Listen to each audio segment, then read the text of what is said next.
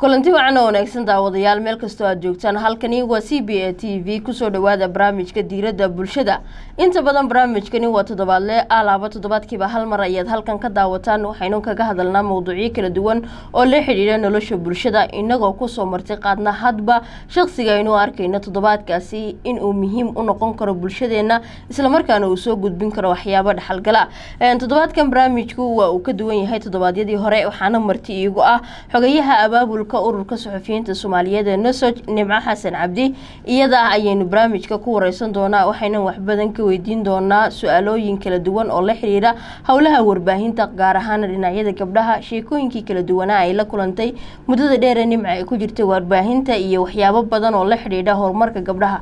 Iyada ayaynu soo dhaweyn doonaa intaas kadibna barnaamijkeena ayaynu gudagelaynaa nimco waana ku mahad celinaynaa ugu horeyntii ku soo dhawo barnaamijka diiradda bulshada iyo t v-ga c b a t v aada baad u mahadsan tahay ciida aroos maagane iyo t v-ga codka bariga africa iyo maadaama maanta aad ugu marti qaadeen barnaamijka diradda bulshada oo loogu talagalay bal bulshada in lala wadaago waxyaabaha cusub iyo maadaama bulshada qeybo kala duwan ay leedahay. Marka waa ku dhawaha waa aada mahadsantahay anaguna waanu ku mahad celinaynaa waqtiga qaaliga aheedna siisa iyo sidaad nooga aqbashay ka qeybgalka barnaamijkeena nimco waxaa jira su'aalo badan oo barnaamijkan aynu kugu weydiin doono balse intaynaan u gudagelin waxaa laga yaabaa bulshada qeybo badan haba ugu badnaadeen inta warbaahinto adiga ah bahdaada inay ku taqaano.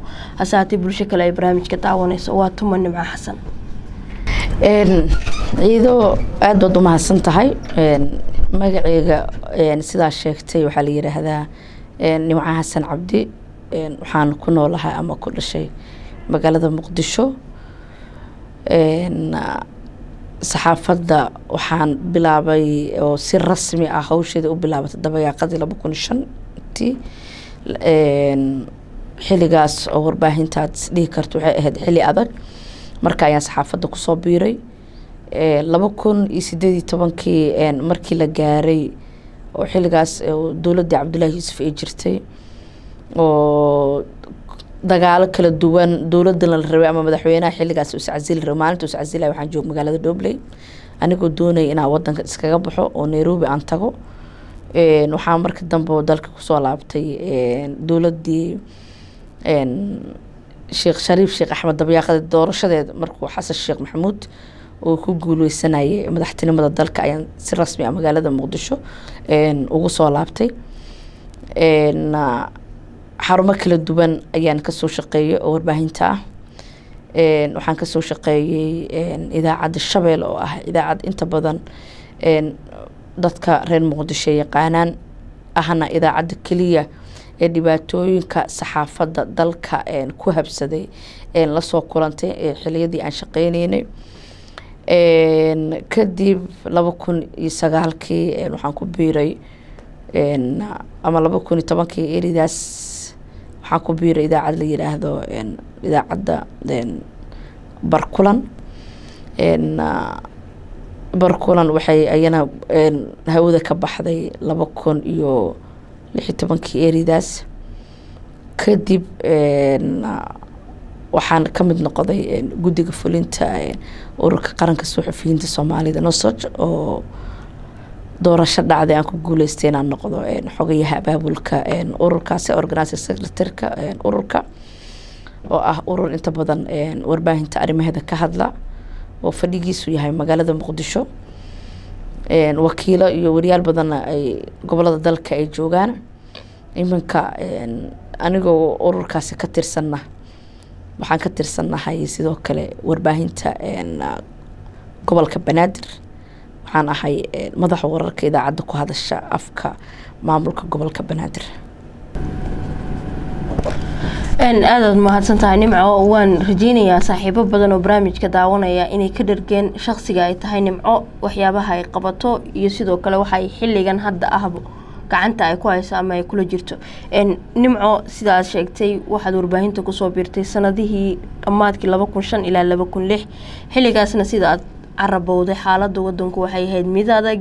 Iskadaa qof dumaree ragga xitaa ay dhib badan ku dareemayeen xilligaas xirfadan maxaad ku dooratay adigoo heli kara xirfado kale oo ka bedelan noloshaadana aada ku maareyso ciida adigoo aada u mahadsan. Aada baan u jeclay aniga inaan ka mid noqdo ama dalka aan ugu shaqeeyo warbaahinta sababtoo ah xeryada aan dhiganayo dugsiga sare iyo dugsiga hoose dhexe waxaan ahay ardayda inta badan ka qeyb gasha barnaamijka la yiraahdo daabuurka oo la soo jeedin jiray. Inta badan waxaan jeclaa inaan dadka barnaamijka hal taclam la yiraahdo ma ogtahay? Ma ogtahay in wadanka saan yahay? Ma ogtahay sidaan oo kale? Inta badan wuxuu ku bixi jiray luqadaha carabiga barnaamijka ah oo daabuurka oo akhbaaraatul caalam oo kale la soo jeedinayay qof kale ay axaadiis iyo wax walba la sameyn jiray laakiin aan inta badan waxaan jeclaa hal inaan sameeyo.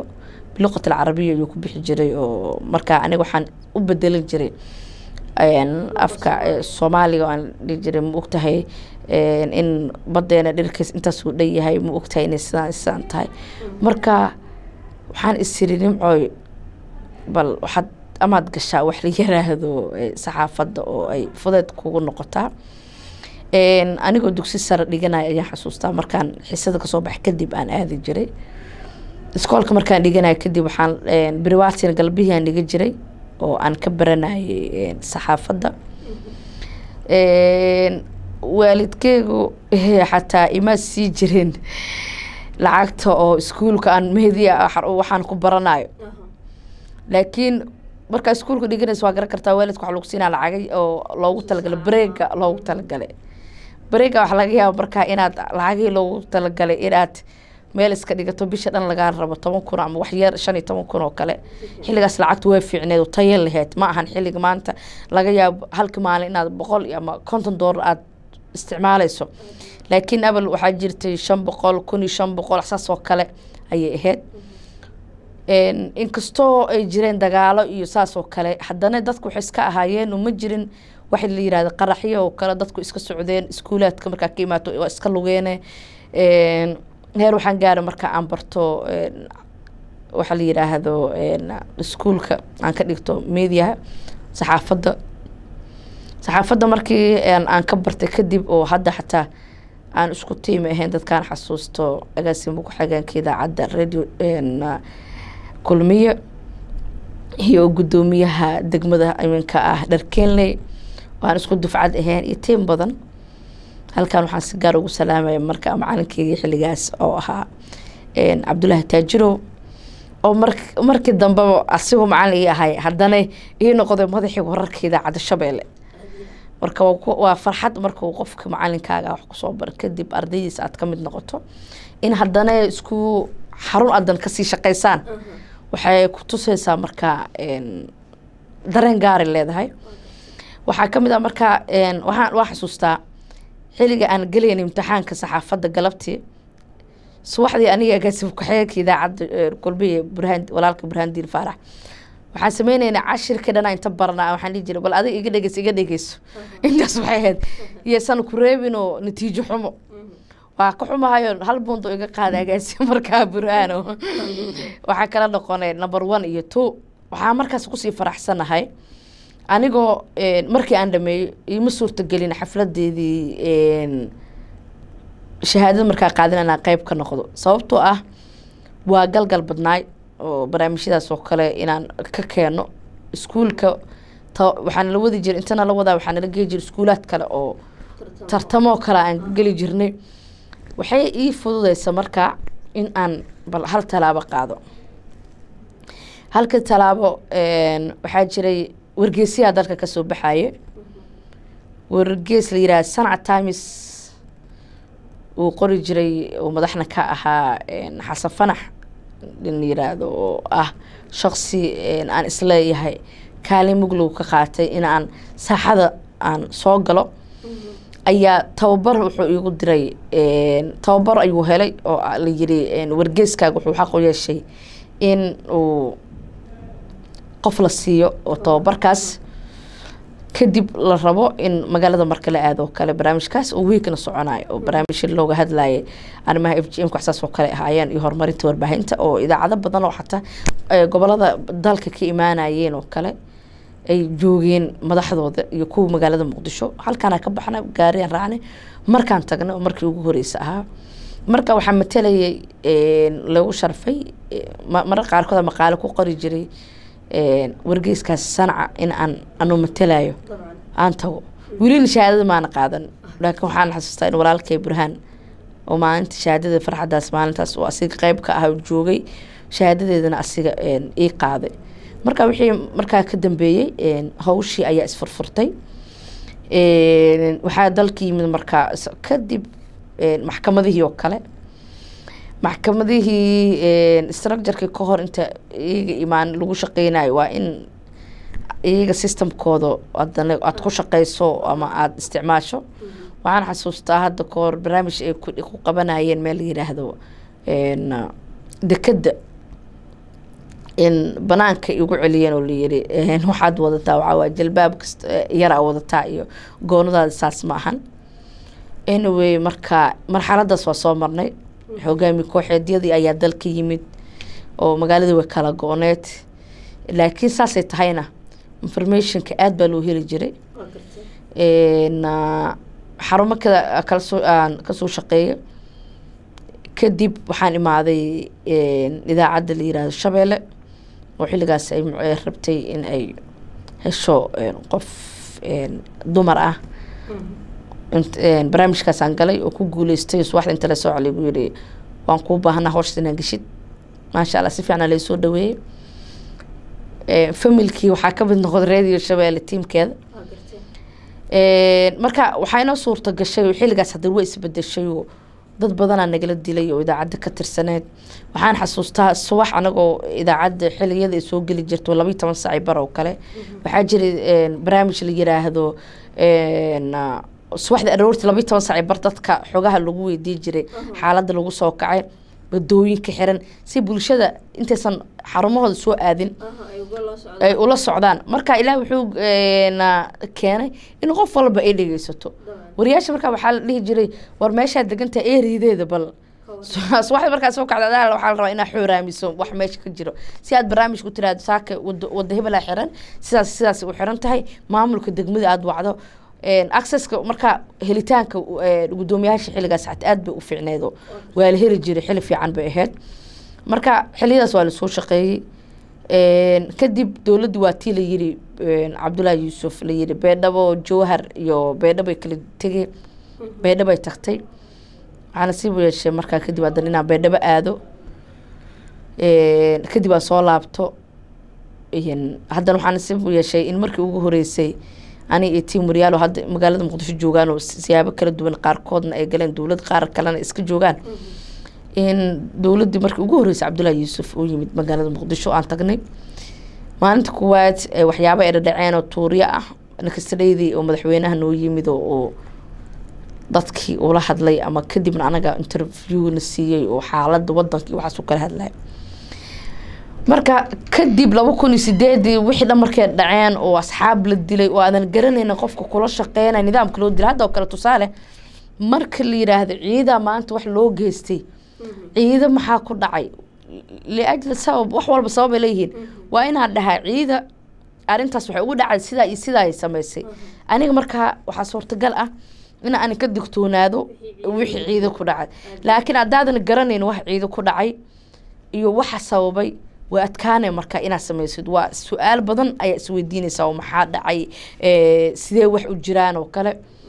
Marka waxaan isira aniga dowladdii markay wax badan ismartay waxaan isira nimco dowladda hadday dhacdo tan kale amay ka darnaa doontaa oo xaaladda isbedeshaa ama si maskaxiyana isla hadlay kadib waa iska baxay waa taan kuu sheego mar kalena soo laabto marka gabdhaha aada bay u yaraayeen xilligaas saasay jirto. Qofka muqdisho inta ka baxo warla-aana markay magaalada ka dhacdo. Gaari market tua in la qaato oo isgoyskan banaadir ereydaas oo kale laga rari jiray ayaa la iska aadi jiray magaalada beedhabo news baa doonanayo newsa bahdhabaa laga soo weynaa waxaa imaanaya xamar kaaliska arag xamarkaaga kuu shidan. Gabdhahan aada bay u yaraayeen. Xiliyadaas wiilasha shaqeynayeen oo qaarkood hadda agaasimiyalaan waxaa dhihi karaa waxay ahaayeen laf dhabartii aan isdhihi karno waxaan ku soo gaarna heer. Sababtoo ah gabdhaha aada baa loo caawin jira markaas oo kale. Waa la yaraay waxaa la leeyahay waxaan waxaan gabdhaha hala siiyo barnaamijkan gabdhaha hala waco. Waxaa jira marka adiga saas lagu dhahayo adiga xataa waa dareemaya kor baa u soconay laakiin marka lagu abuse gareyna lu yidhahdo dumar baa tahay xaro iyo dumar baa tahay seexo iyo gurigaaga joog iyo. Waxa moralkii ayaa markaa hoos u dhacayo waa gartay. Nimco sidaad ka dhawaajisay waxaad ka soo shaqaysay warbaahinta shabeelle oo qeybka warbaahinta ugu waaweyn ee soomaaliya ku yaalla shabeelle sidaad haddana hadalkaaga ku dartay waxaa laga dilay wariyaashii soomaaliyeed ee ugu badnaa. Bal ka waran dhacdooyinkii aada goobjoog u ahayd siday adiga saameyn gaara kuugu reebeen iyo waxyaabaha aada imika ku xasuusato maadaama isbeddel warbaahinta uu ku yimi. Waxaan xasuustaa allaha u naxariisto mukhtaar maxamed hiraabe wuxuu ka mid ahaa agaasimayaashii ugu dambeeyay idaacadda shabeelle aniga xilligaas inta badan newska marka la doonayo tuuba laba qeybaan kala noqono dadka.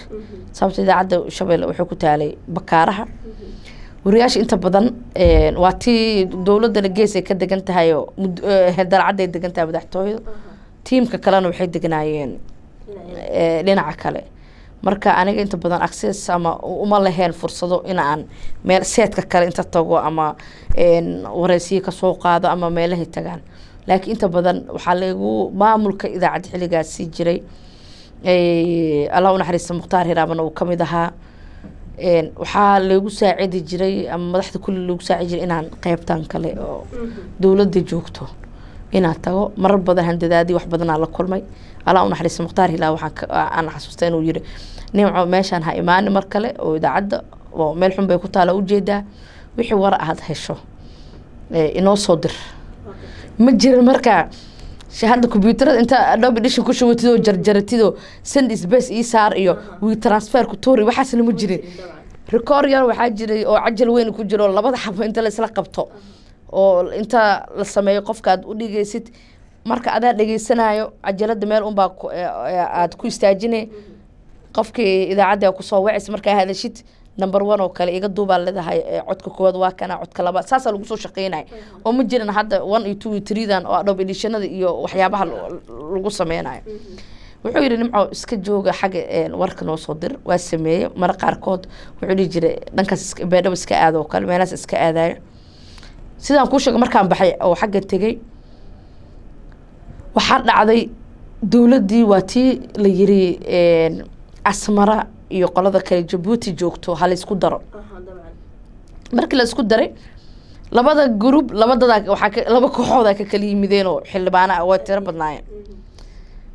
Wadanka markay soo laabteen waxaa igala rajo ah.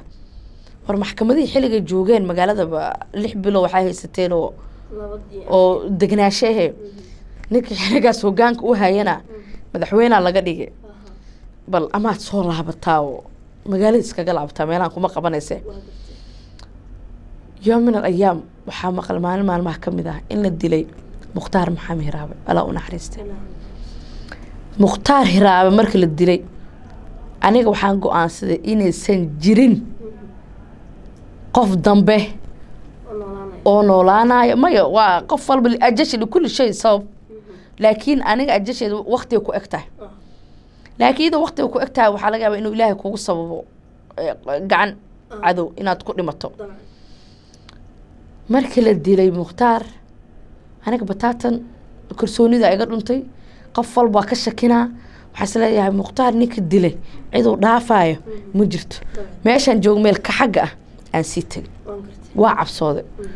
Waxaan goobjoog u ahaa allah u naxariistee anigoo shaqada joogno la dilay maqalnay mahad capital voice agaasimaheedii markaa maqalnay maalintaas waa xasuustaa magaalada way xirxirneed haddii aan qaldanay taliyaha ciidamada birmadka booliiska wuxuu ahaa jenaraal yuusuf xuseen cismaan dhuumaal oo ah wasiirka iminka ah wasiirka wasaaradda amniga ee dowlad goboleedka jubbaland waa wacnay waxaan ku eh, taliye wada hebland taaganaha waa ogtahay tacsiya nagu dhacday oo nin baa nagala dilay. Bal seedkaas inaan marno markaas wuxuu yidhi seed hebla ka soo baxa anaa taagana. Meel uu taagan yahay unbaa kadib waa istusnay waa baxnay. Waxaan tagnay isbitaal madiina oo xilligaas yaalan markaa shaki ma jirin oo qofkaasee loo dilay waa sh- tashwiish wax baa jiray waana bilow markaa hawshi. Marka ninka marka aragna qaar baa nagu dhaheen anaga meydka ma raacayni waa raacayna isaan waaye qofka saaxiibka ama aada tihiin mihnada saxaafadda aad kula jirtiin wuxuu kaaga dhow yahay qofka walaalkaaga. Sababtoo ah aniga adiga waxaa laga yaaba maalin walba inaan is aragno maalin walba isla joogno gurigayga aan tegayo keliya xilliga habeenka oo kale. Habeenka markaad tagto adigoo daalana aad seexanayso aad ku tashanayso beri hawshaa qabar rabto waxaad sameynaysa laakiin qofka walaalkaaga intaas waxaa waaye waqti kulan dheer ma jiro. Waa soo baxnay. Mahad maxaa lagula dukaday shacli suufi masaajidka shacli suufi? Meeshaan taagnan gudahay galeen. Baawur ka mid a baawurtaas waxaa watay sidaan ogaa xasan xanafi. Oo markaasna anagana ka mid ahaa tiimabkeeni reporterada magaalada muqdisho. Laakiin aniga kan ma ahaan xilligaas mihnadu wuxuu ku jira ma garan maanan aqoonin. Waa baxnay waxaan xasuustaa qawra barkada eridaas koorkaas muqdisho eridaas duurkaasaan tagnay. Marka waxaa la yiri cali imaan sharmaankaasna allah u naxariistee wuxuu nagu yidhi idaacadaha yaa kala socdo waxaa ku yiri shabeel anaa ka socdo hebel yaa ka socdo markaas intii go'aan aan qaadano go'aankaasna xarumihiina la wadaago oo aan sameyno idaacadaha inaan ta damino ama aan tusna awoodda ay warbaahintu leedahay dadkan anaga dilaayo haa. Meeshaa la tegay meesha lagu soo faatixaystay sookee waa soo baxnay. Anaga gaarigeen waxaa waday muuse maxamuud jiisow tiima isla saarneen. Gaari baa horteena baxay. Safaa markaas la gala markaa. Safka markaa gaariga waxaa jira gawaari markaa marka xagga la tago dadka marka la soo wada raaco haddana marka naqnaan mid walba wuxuu leeyahay dee isbitaalkana laguma laabanayo oo ninkaana gurigiisa ma aadeysid nin walba dantiis wuxuu is leeyahay waajibaadkaagii saaxiibtinimo waa gudata hor u soco. Gaarigeen waxaa umaleynaa iyo gaariga caliimaan ama saddex iyo laba wax noo dhexeysa wax saas u buuran nooma dhexeen kiyuga safkaan galnay marka waxaan ku yidhi marka jiso maana wadid wuxuu yidhi waa gabaari baa naga horeyse. Hal mar. Halkii mara waxaa maqlay jug weyn. Jugta markaa maqlay saan loo fiiriyo albaab furma iyo falastiina ka mid ah dadka maa joogay sahal cabdulle oo camerman ahayo ka shaqeeya rotris aan jeclayn oo markaas ka socday oo gaariga isla saarnayo wixii alla waa cala iimaanisaan waa la kala anfariiray mar kale waa la soo baxay. Waxaa la yidhi hala duugo. Mis haddana waa dhibaato kala dhacdayba waa saakan mid baa duugtay. Waa soo laabanay. Laabashadiiba xataa laamiga kumaan dhicinba waxaa ku jiraa weli qabriga jidkiisa oo laguma dhicin. Waa naxan haddana. Waxaa la yidhi hadda ninka insaan oo dhaawacay noocan u yaalo hala wada duuga galabta. Waan xasuustaa waxaa la yimid meel tarabuunka ka soo horjeeda ha dukaamani waxaa laga dhisay oo maasha allah waa hadda. Meeshaa la yimid. Markaa qabrigii oo ma weyna buuxsameen meesha waxaa la waayay capacity meel oo u fiican oo lagu duugo. Waxaan xasuustaa haddii aan qaldaneen in calamada eridaasaan tagna maalinta maalinta labaad aan tagna meesha lagu duugo. Marka qof walba qofta kale way ka naxee waxay is leedahay qofkan maxaa loo dilay? Maxaa waaye? Haddana hal maalin haddana laba qof oo magac iyo sumcad warbaahinta ku dhex lahaya la dilay. Haddana waxaan dhahnaa anaga looma joojinayo boqolaal kale oo ayaga ah ayaa jooga haddana agaasimo kale ayaa shabeelle laga dilay. Cabdirasaaq gaadaco wiil yiraahdeen waa jira reporter ah laakiin cabdirasaaq gaadaco waxaa dishay waxaa dilay wiifto oo reporterada shabeelle asna ka mid ahaa kuwa kalaa gadaal la dilay. Marka qofku saaxiibka ah waxa uu ku dhintay. Marka fahmi karti sidaan hore kugu sheego unbaa adigana dareen gooni ah kuga abuuray. Laakiin haddaadan garanayn waxaa waaye nafsiyan xataa waxaa gacantaada midig iyo bidixa kala shakinayso. Marka dhibaatooyinkaas badanaa warbaahinta intaa ka shaqeyneyn aan aragna waa gartay. Nimco xilliga aada warbaahinta ku soo biirtay oo xaalad adega jirtay gabdhuhu waa ku yaraayeen. Haddana ribootaradu waa ku sii yaraayeen. Marka laga soo tago sidaad xogaha u heli jirteen ma jiraan sheekooyin cajiiba oo xilligaa aad la kulantay. Mar walba aada dadka kaa dambeeyeyna uga sheekaysa adiguna naftaada markaad xasuusato kuu noqdo xasuusa gaara. Waxaan xasuustaa horta wax la yiraahdo markaad hawsha sameynaysid isma ogid. Hadda mararka qaarkood waxaa isleedahay maxaa adiga maalinta maxaa saas u samaysay riskiyaa isgelisay. Waxaana xasuustaa anigoo tiim badanoo oo qolan aljaziira ka tirsan iyo faarax ebi iyo hadda oo kaalad ka shaqeey anagoo tiimaan baxnay. Waxaan tagnay meel la yiraahdo jamhuuriya eh, dhanka kaaraan dhankaas marka asxaabta kalea joogto markaa seedka kale ahayd markii ugu horreysaan tegay. Hoobiyin wuxuu socdaa foria ayaa si aan caadi ahayn loo garaaca waa tii layidhi eridaas qad cagaaran waa camal oo dad badan ka guureen waxaan xasuustaa camera inta soo qaateen nin la rabay in la sawiro. Ayaa wuxuu yidhi wejiga ha iga sawirane gadaal iga sawir marka anigoo geedi wato camal kuwaana waxay u qaateen kaamerooyinka in action iyo qof oo sii socdo. Ilaah wuxuu qadaray ninkii saas dhahay oo sii jee wixii la sawiray. Anagoo meesha joogno in hal hoobi miyaa maanqaan wax noogula soo dhuftay eeridiisa dhan ninkii la waayo. Uu dhintay.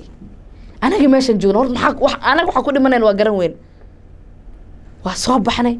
Qadaan aragnay qadaan oo la keenay war qa- qadada cunaa inta waaye qadada bacay ku jirtay. Waa waxaad ku- si aa ku cunaysa male dowladdii meelo badan bay qabsatay. Wayna soo wacay waxay leeyihiin shir jaraadaa qabanayna noo imaada. Annagan intaa baqataato kale nagu haysato.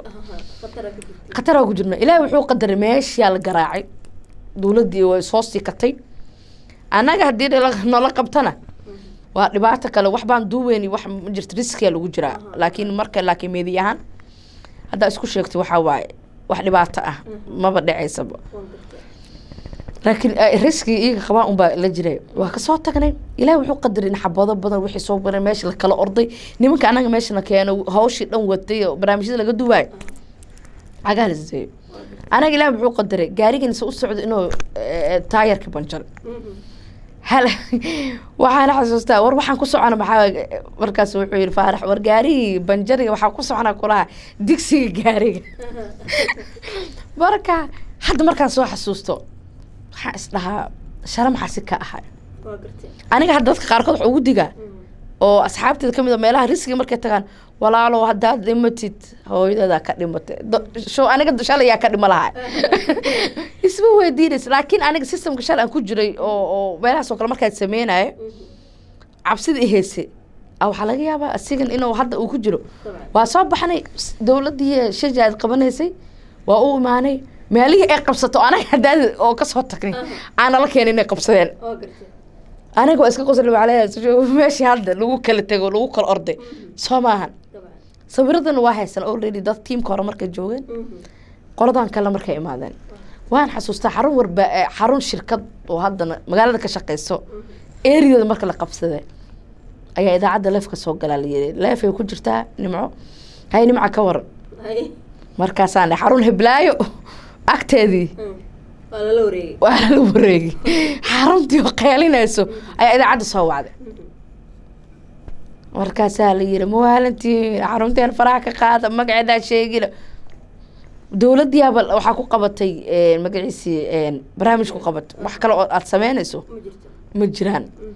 Marka xiliyadaas waa la soo mara. Hadda markaan soo xasuusto weynaadaa wanaagsanaadaa la yiri. Waxaan is leeyahay bal weyninka waa kastoo aad garaadki iyo wixii aad samaysay ayaa waxyaaba badan ka faaday laakiin markii dadka qaarkood hadda ku soo cusboonaa soo galay oo aagaga hore iyo adduunyada aadayo oo hadda aan qaarkood kaga dig qof aa u dambaysaa kaa dhahay walaalow haddii aad dhimatid dadka ku duugayo waa anage bal tartiibso.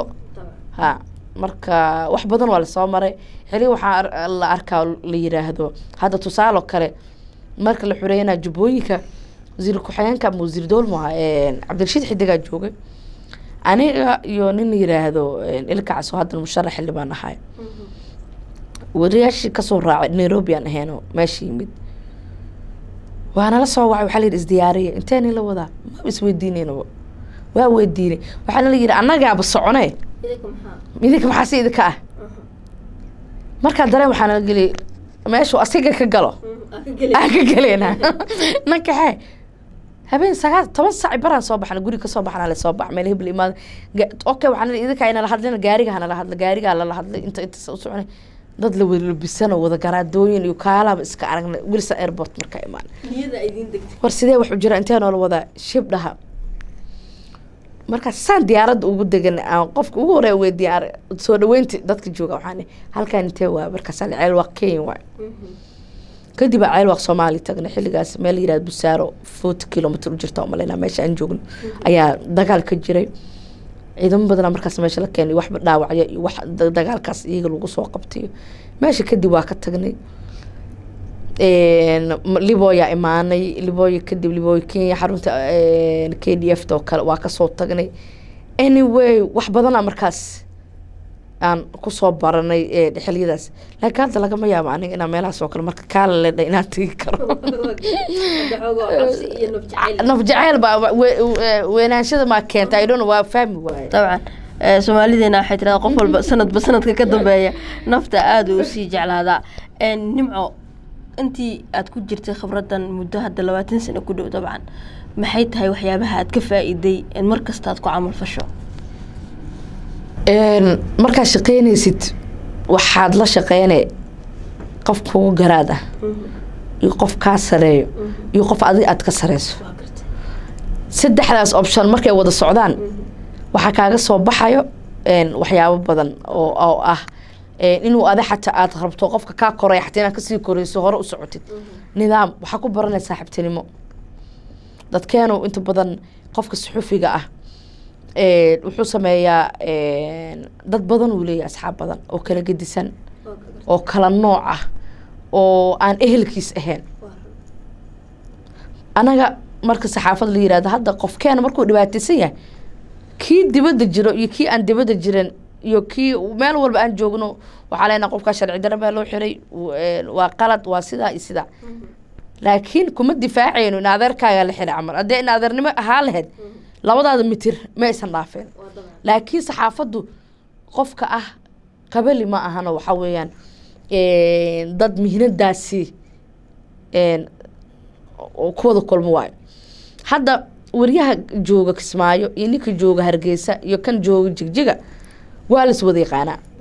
Ya kan jigjig lagu xira waxaa laga yaabaa inaa facebook ku soo qortay sharci darro baa loo xiray saan saas saas inaa dhehla liajli waxaa waaye oo kugula jira. Wax badanaa ku bartay oo een, aqoon. Waxaan wax ku bartay oo kale systemka dowladnimada qaabka eh, structureka dowliga isugu dhisan yahay sida loo kala sareeyo oo kale oo aan ku bartay. Waxaa sidoo kale fursad u helo si gaar raba inaan ugu salaamo taliyii hore ciidanka booliiska ee xiliyadii laba kun lix iyo tobankii ee maxamed sheekh xasan xaamud oo isna ka mid ahaa dadka dhiirigeliyaasha warbaahinta dalka oo si wacan xiligiisii noola shaqeeyo oona empower gareeyay ama kor noo qaaday. Taasna waxayna tustay inaan meedihii iyo xiligaas iyo booliiska inta isla shaqeeyaan.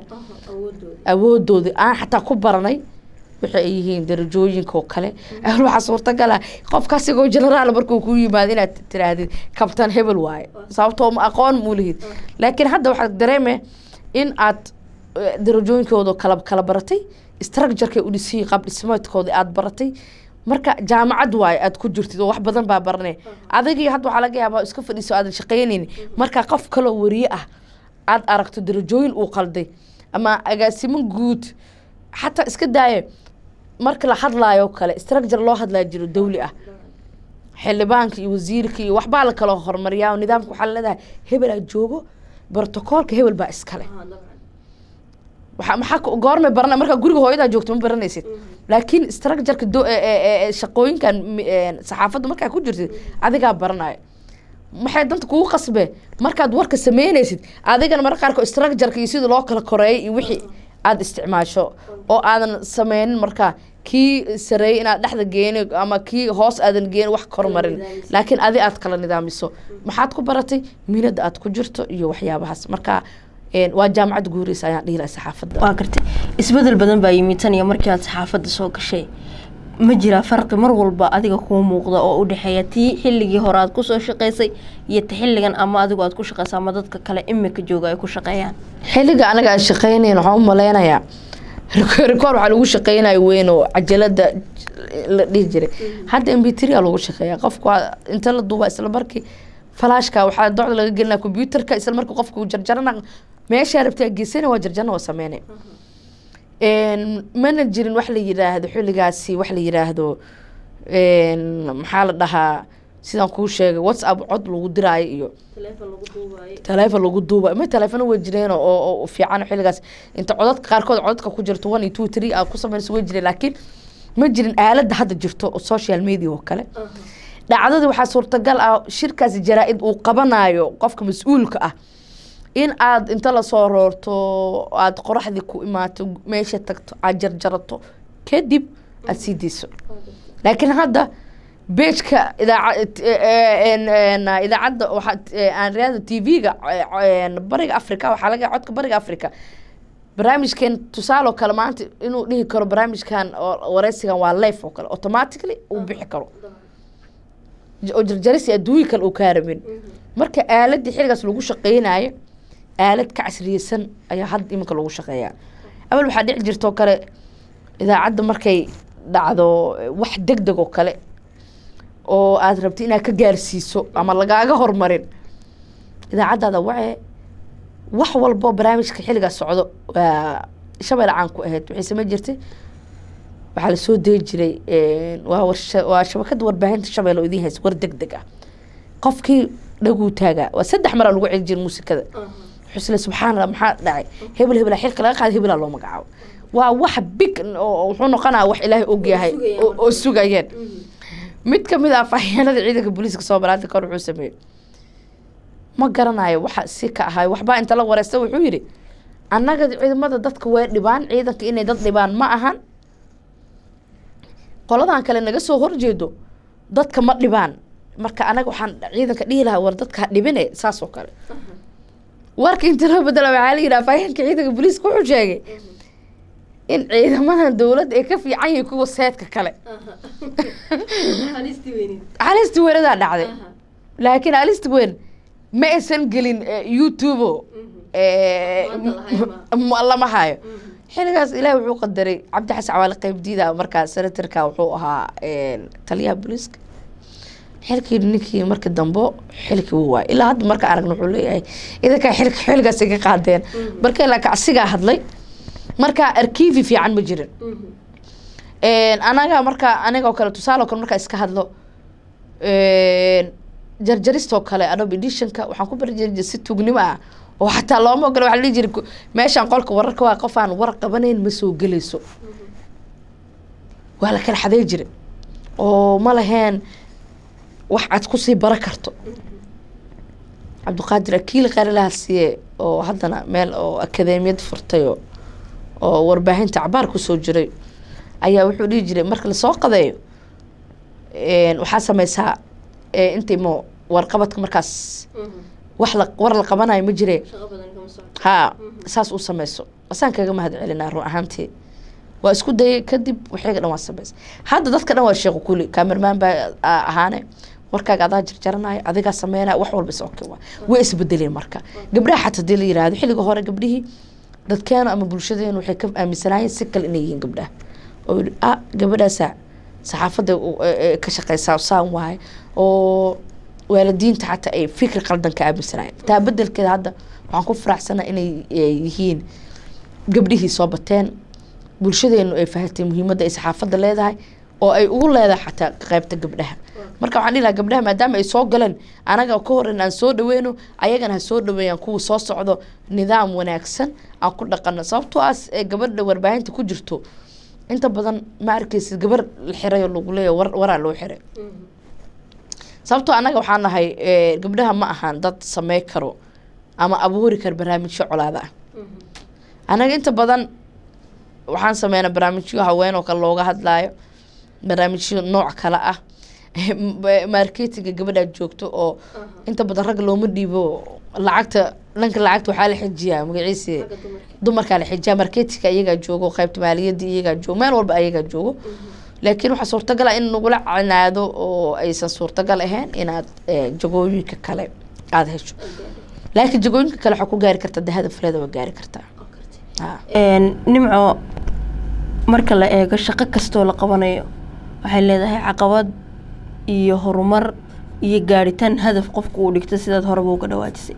Caqabadihii kugu adkaaya ku soo maray xiliyada qaar aada istidhi hadda wixii ka dambeeyay diyaar uma ahaan kartid inaad sii shaqayso maxaa qayb ka ahaa? Caqabadaas waxay sida kuu sheegay marka saaxiibkaaga la dilo oo aada isla shaqaynayseen waxaad leedahay mihnadan iyo waxaad inta iska daysid magaalada gal haddana waxaa is leedahay war haddaad iska dhaafto cid ku cafinaysa ma lahane.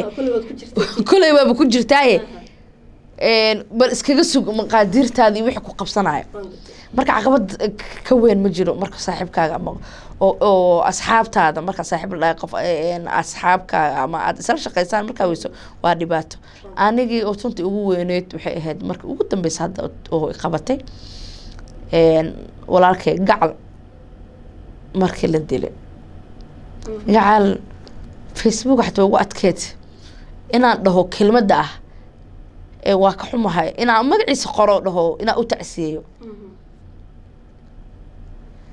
bis waxaa maqla subaxdii meel imid shaqo meel baan u socday. Mid baa wuxuu yihi saaka arrin baa halkaas ka dhacdee ma la socotaa ma maqashay automatically hal maraa inta gadoomay ah waxay ugu soo dhacday inuu joogo qofkaas. Wiil u dhawaay ayaan wacay. Markaasaan ku yiri ka waran. Markaasuu wuxuu yihi jannada firdows allah ka waraabay baan aamini waaye waxaan wacay taliyihii ninkaas xilligaas ka ahaa ee aaga oo oo ku jira ninka la yiraahdo uu joogay gacal allah naxariiste waxaan ku iri ma jiraa qofkaas. Haa haddana waxaa indho ugu sii cadeynaa qofka horta adi qofka ku sheego ma taqaanid miya? Anaa waa sase. Wuxuu leeyahay soo wiilka kula soco jira soo oo noocaas u yaalla haa markaasaan ku iri war iska daaya horta ma hubtaa inuu asiga yahay. Iga xaqiiji soo qofka qaarkood dad ilaa hadda ani qaar dadba qaar baa aaminsaneen dhintay. Ah waxaan niyadeed ka dhaadhici karin qofkaas. Wuu dhintay marka waa soo waa naxnay anagoo tiim badan baa ahayno ninkaas asxaab badan tiimamkeena oo gaarka ah aan isku ka warhayna isku wacnay. Warkaalay wiilkii ciddiyaan tagnay reerkiisa waa iskala qaybinay. Qaarna waxaan u dirnay meesha meydka la keenayo aan dhahan bal noo soo fiiriya. Annagana reerkii ayaan u sii tegaynaa oo aan u muujinaynaa in wiilka ayaga kaliga oo kaligood usan ka dhimanina anaga dhan uu naga wada dhintay. Annaga meesha joogno meeshina waa garan kartaa waa la wada jooga waa la wada buuxaa qof walbo. Ayaa waxaana la yiri ninka maba dhimaniba waxaa la soo geliyay magaalada. Oo sababto ah odawaa xiligaas ah taliya lugta inta la waleysta wuxuu yihi odawaa faaraxi qadiijo kalama yaqaano ninka iyaga waxay leeyihiin gaclama noolyahay war wax dhinta mala wax nool mala wax buu su'aalbu wuxuu leeyahay ma jiro wax dhimashaa ma jiran wax dhimasho waxba waa lagu celceliyay marka asiga gacal wuxuu yaqaana carab magacaas uu yaqaana wuxuu yaqaana magacaas iskaga baxsaday asigana xilliga meesha ma joogin. Ninkan wuxuu rabaa qofka mas'uulka wuxuu hubsado inuu sheego. Dadkana taleefanada ka badiyaan. Qofka jawaab wuxuu sii karaa war wax dhinta ma lahane. Naga daay annagii ayaa nala wax oo taagtaag camalaan galnay. Waxaa la yaraa idinka maxay tahay wiilka waa dhinta waxau leedihiin? Ababa dadaan shaqada ku leen oo ehelka xataa aheenoo meesha iska joogo ah idinka ma cadee karo. Waa kanaa facebook uu saaran yahay? Taliyahii dhanaaba hadlaaye. Ah anagii cabsoone waxaasan meeshaan qataataa ku geline? Soo baxa. Ilaa habeenkii ninka aan cadeysano inuu meydkiisa yaalo. Intaasoo qofooda isoo wacda hebel eed adeer baan u haysaan intuu jooga inta waa. Calaa kuli xaal maalinta labaad asiga iyo tiim kale waa la duugay kadib reer baa soo baxay reerkii waa tii laba cunug loo dhalay. Warbaahintii sidaan kuu sheego dad iska warhaayo oo waxaa waaye xiliyada dhibaatadoo kale isgacan qabta. Ilaahay laba cunug ka siiyey wasaare xilligaas jooga xasan cali kheyr oo kale wax laga helay. Waxaa sidoo kale ku maasan in madaxweyne hadda iminka jooga markaa uu ku guuleystay in gabadha reerka oo ilmaha dhashay ay ka mid noqoto shaqaalaha dowladda. Si ilmahaas wiilka ka dhintay.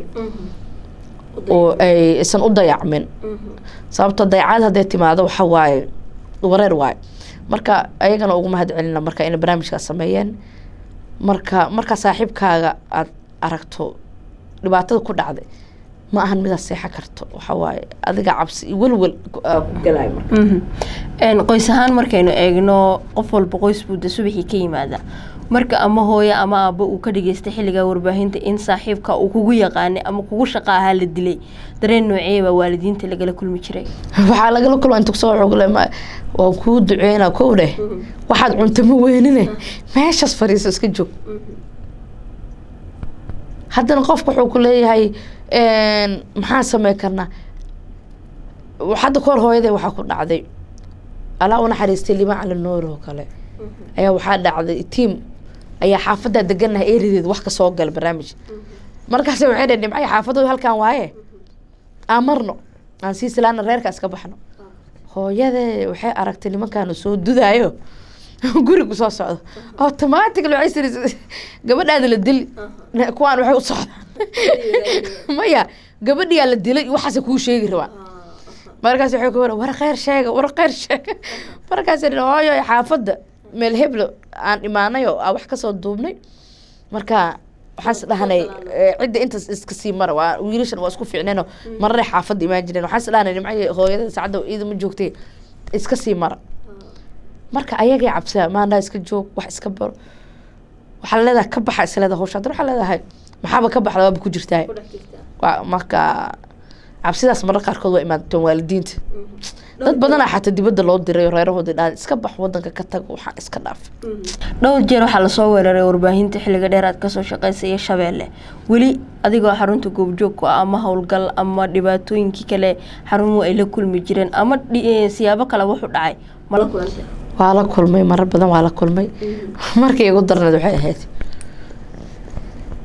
subax aroor ah oo labaiy toban saaci bar oo kale waxaan sheegnay idaacadda sheegtay in la qabsaday xarunta ee, saldhigga booliiska ama la soo weeraray howlwadaag howlwadaag marka la soo weeraray waxaana soo wacay sheekadii warki baa laysku qabsaday. Cali xirse bare cali gaab oo ah had iminka taliyaha oo meesha carruurta loo ee agoonta booliiska ayaa xarunta yimid oo ciidamo badan wato.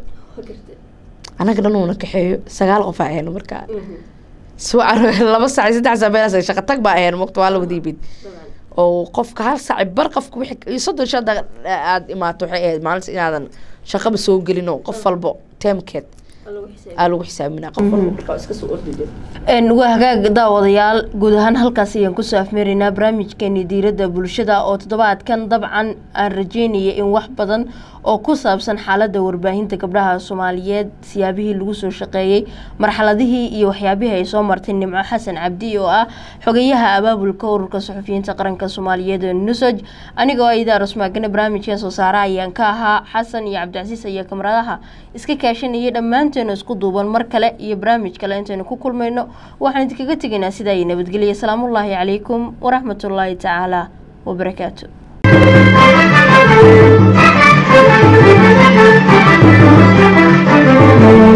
hadal oo hadal oo hadal. Oo ku hadal. Bishii oo dhan. Toddoba dollar. Oo keliya. Ku darso fariin kasta oo aad dirtaana waa kuu bilaash. Haddaba si aad ugu shubato adeega kaafiye fadlan garaac xidig siddeed eber siddeed afargees ama xidig laba eber laba afargees. Isticmaal shabakadda ugu ballaadhan geyga somalilan